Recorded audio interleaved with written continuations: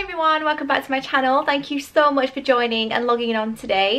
Um, and thank you so much for my feedback on my last video. I really appreciate the fact that you guys are enjoying these videos and you find them useful and they're inspiring you to get more creative in the kitchen. So this morning I've already had my breakfast. I had yogurt a new yogurt actually that I haven't tried before so I'm really excited about that. And I had it with berries and I had the best caramel coffee I have tasted in a long while. I'll insert that now. So breakfast is going to be pretty much a non-event for me. I'm going to have yogurt as I usually have but I've actually managed to find a new flavour from Aldi and this is the plain vanilla. This is the fat free um, I'm going to track it as I normally do and this is three points per 100 grams which Sounds, again, about right from what I would have, and I'm going to have it with an assortment of berries.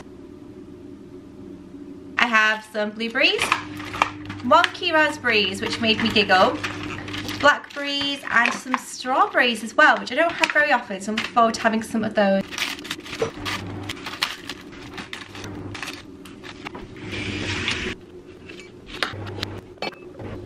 Recently picked this up from Aldi. You may have seen it in my recent um, grocery haul if that's gone live. I'm sure it will have done by now. Um, and what I'm going to do is I normally don't track my coffee guys because I don't really drink a full mug and also I am just maintaining so I kind of use my weeklies for that but feel free to do it and for argument's sake so you guys know this actually comes up as zero points per serving anyways I mean it even says on the jar that it's two calories per cup which is incredible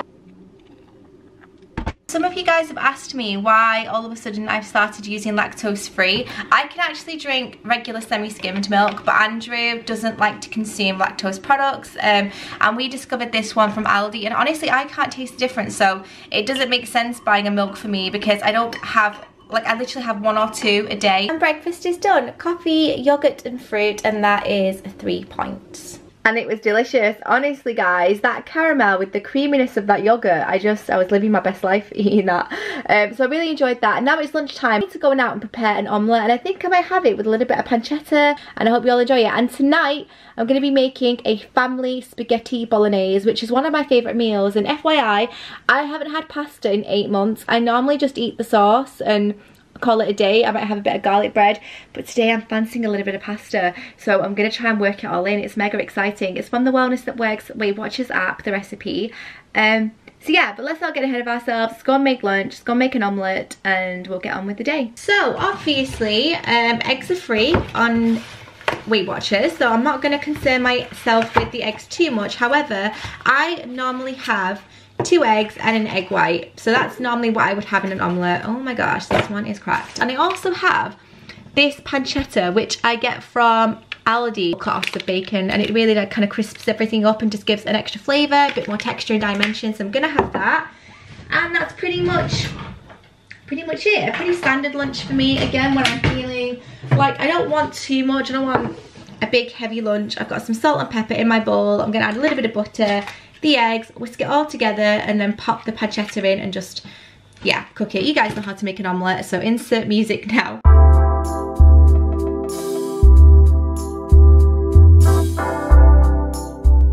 So I am going to weigh out, however, my pancetta. I don't go completely mad, like stuff like this I, I do weigh out.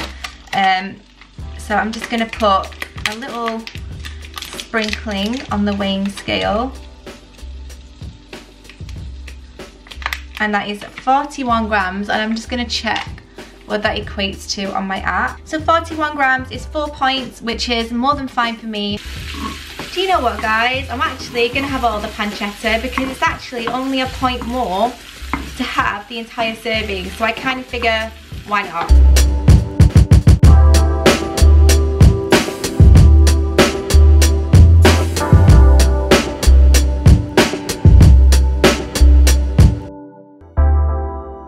I'm just gonna grab a couple of easy peelers and then head off. I love it when my fruit bowl is bulging like this. So this is the meal that we're having tonight. It's the classic spaghetti bolognese and it is eight points. I'm just going to scroll so you guys can see um, what ingredients um, are included.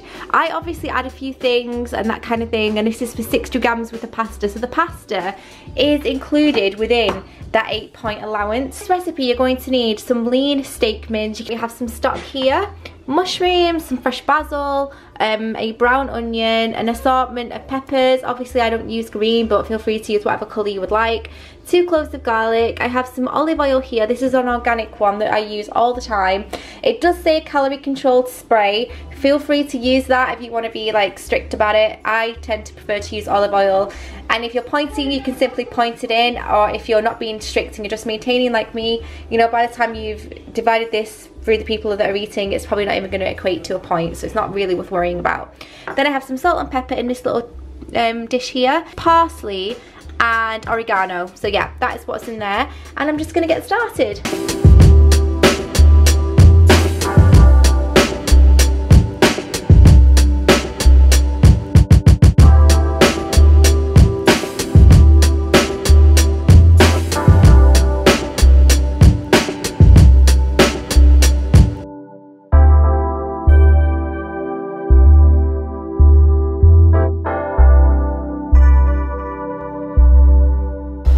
Okay, so the mince is browning. I like to, again, really work it and really separate it all because there's nothing worse than big balls and lumps of mince um, when it comes to a chili or a pasta sauce. So, the recipe calls for two of these, which is two tins of chopped tomatoes. However, I'm going to be using a combination of chopped tomatoes and passata. Both of these are from Aldi and the reason that I am mixing passata with chopped tomatoes is I feel like this is a much richer flavour. Um, it has something about it that just it just adds a really lovely texture, a really lovely smoothness and it's a little less harsh. Basil and the herbs and spices all combined it's just going to make for a really lovely base and then obviously we have the stock as well. Okay so I'm going to add my chopped tomato first and kind of stir all of that in, let it combine, and then I will go ahead and add the passata. Normally you would add this at the same time if you're using two tins of chopped tomatoes because there's no need to do it separately. But I just prefer to work this in first and then I will use the passata next and add the herbs and spices along with the um, stock and salt and pepper as well and I feel like it just gives all of the ingredients a chance to really infuse together and really cook down nicely. I'm to turn up the heat ever so slightly now. I mean I'm not a cook guys, like I'm not a professional or anything like that. This is just what I like to do personally. I'm one of those people that will sit and watch cooking shows and get all the hints and tips and tricks and the favourite of mine that I love to watch um, is Marco Pierre White I think that's his name um, his spaghetti bolognese recipe is perfection and he always goes on about working the mince which is why I feel like it's so so important. And you'll see it now just with the texture. It's just really it's just perfect. So if you can take the time I would definitely recommend for you to do so. And now I'm going to add the passata as well. Do let me know if you would prefer more chatty what I eat days rather than just the music. Um, normally I don't really do much talking unless you know something requires an explanation but in this case where I'm like telling you guys the reason I do things, I think it can be quite interesting just to learn why someone might do things in a certain way. So do let me know if you like a mixture going forward or if you just prefer the traditional way because to be honest, I'm not too fussed but it is nice to have a chat with you guys. Super rich sauce, a really lovely consistency and the mince has separated so nicely. It's not all clumpy and disgusting so I do love that. And now I'm going to add the spices and the herbs.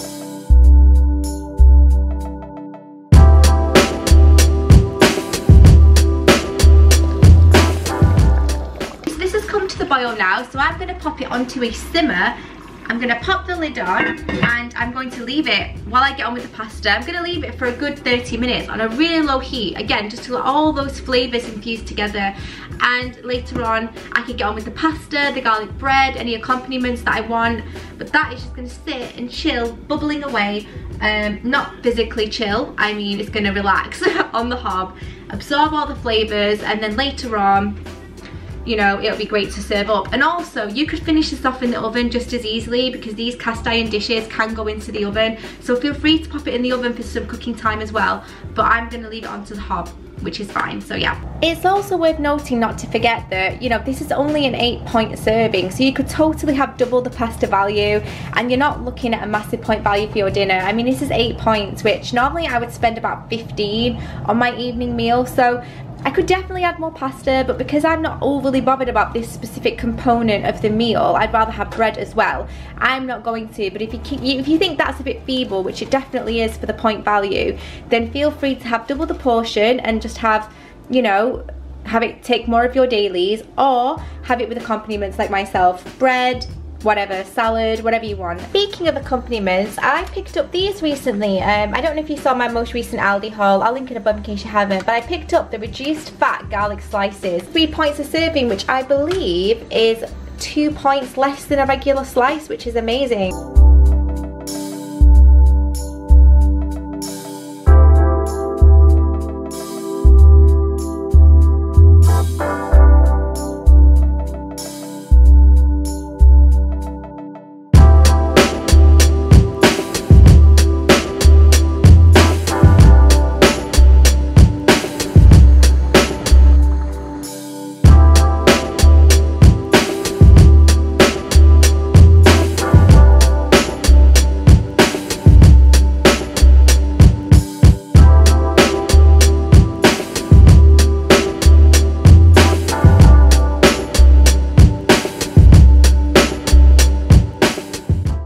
Dinner and it was so nice. And it was such a refreshing change to actually have a little bit of pasta. Although I have to say I didn't miss it. Like I didn't eat it and think oh my god like why have I cut this out? In fact I would go as far as to say that I actually think I prefer it with just the sauce and the bread um, because it can be quite heavy with the pasta but it was a nice change. I really enjoyed it. It was really flavorful.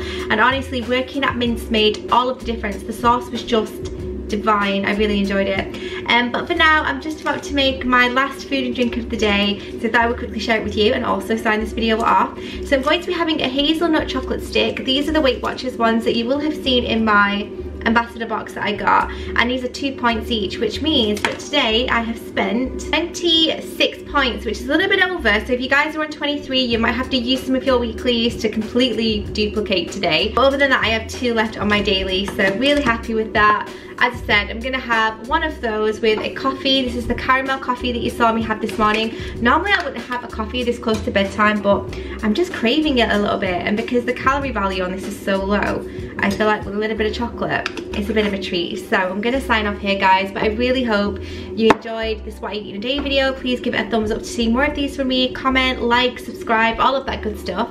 And I'll see you in my next video. Bye.